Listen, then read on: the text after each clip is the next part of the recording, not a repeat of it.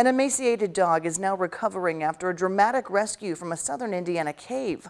According to Harrison County Animal Control, cavers found the black and white dog, now known as Dewey, while exploring the area on Saturday. Rescuers had to rappel 30 feet into a pit to get to that animal. It's believed he slipped in, got out of his collar, it was hooked on a tree branch, and then wiggled out and he fell down to the bottom. The dog survived by drinking rainwater that had been collecting in an overturned turtle shell. The cavers seem to think he was down there for a couple weeks.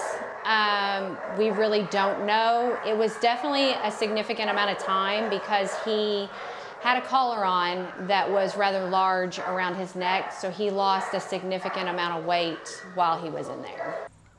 Dewey is now recovering at the Harrison County Animal Shelter where he is eating and getting some vet attention for some scrapes on his back.